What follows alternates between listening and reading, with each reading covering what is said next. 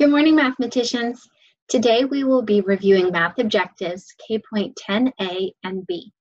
I can identify and describe plane figures, those flat 2D shapes of circle, triangle, square, and rectangle. I can compare the size, smaller or larger, and the shape of those plane figures. If you'd like to participate along today, you're going to need um, a piece of paper and pencil or a whiteboard and marker, um, and also a camera on a cell phone or a tablet or just on your regular computer. So let's see, we're going to be focusing on two of our plane figures or 2D shapes. Um, this poster should look a little bit familiar. We did something like this in our classroom. We had one for each of our shapes. Today, we are going to be reviewing this shape, the square. And we're going to be reviewing the circle right here. Okay, all right. So specifically with the square, we know that a square has how many sides? Four sides, very good. And what makes a square different than a rectangle is all four of those sides are the same length. Now, because it's got four sides, a square also has four vertices, good, or corners. Um, and we know that those vertices are very sharp. And sometimes we say, ouch, because that's where two sides come together and make that vertex. And when there's more than one vertex, we call it a vertices. So here are some examples, just some drawings, um, but we're going to be finding some examples around um, our homes today. So an example of a square in your home or classroom would be a TV, if it's a square. Make sure it's not a rectangle. Um, perhaps a computer. And then SpongeBob SquarePants, right? It's in his name. Examples of circles that have zero sides. Remember, it's made of a curved line. And because it doesn't have any sides, it also has zero vertices, no sharp, sharp corners on a circle.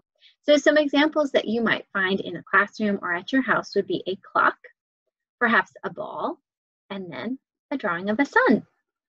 Now, I went back and looked at some photographs that we had from our classroom when we did our own shape hunt, and these are some of our friends who found circles within our classroom. So here we have Alexandra. She's pointing to the circle that's on your numbers from your book basket. Yeah. And here we have Mia. Mia's found a little circle, a little tiny circle on the ear of a mouse in one of our Write the Room cards. Emily found a circle in one of the crates. Anywhere, right?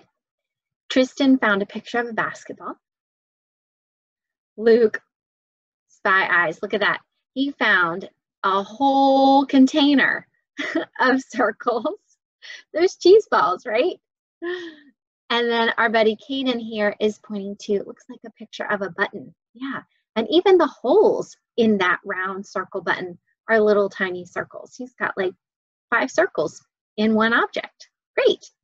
All right, so today we're gonna try something a little bit different you are going to um, be going on a shape hunt around your house today. And what I'd like to do is I'd like to have you go on a shape hunt with me around my house today. So I've got to figure out how to switch cameras because I'm going to switch you to my cell phone so that I can show you some examples of circles and then squares around my house. I have some paper ones to help me remember. Here's my circle.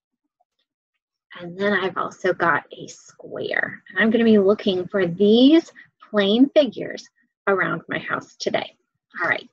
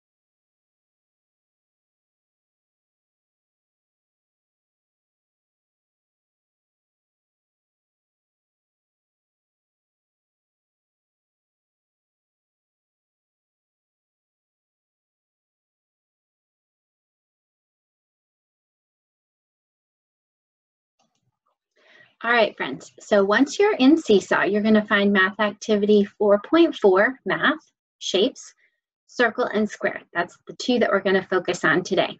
You're going to click add response, find your name and icon.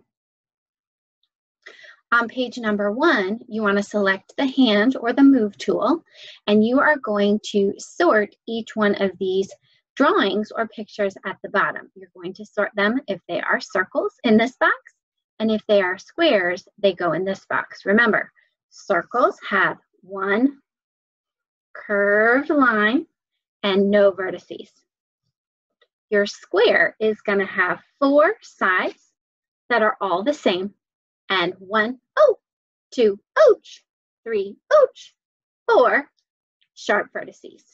Okay, so we've got like a Scrabble tile, a picture frame, Looks like some cabinet doors. Oh, or that's a piece of chocolate. I think that's some chocolate.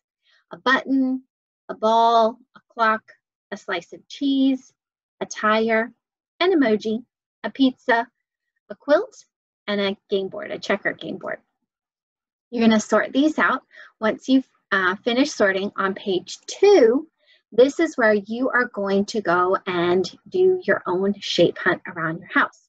To do this, you're going to take your camera, whether it be on your phone or your tablet, and you're going to select the camera tool, and that will take a picture of the objects around your home. Now, if you are working on a computer, like this is a laptop computer, and it's not really a good idea to be carrying it around my house. So what you can do is you can get a collection of things that are circles or squares, bring them to your computer, so you don't have to carry it, and then select the camera and just hold up your objects in front of the camera and take a picture of, say, a circle or got a puzzle box here that is a square shape. So, like I said, please don't pick up your laptop and try walking around to take some pictures.